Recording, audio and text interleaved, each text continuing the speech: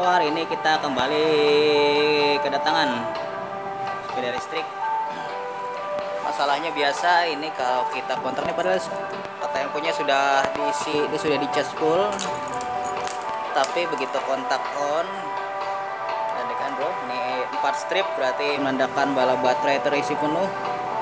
Energinya sekitar 100%. Coba kalau kita putar grip gasnya maka akan ngedrop langsung tutup lagi.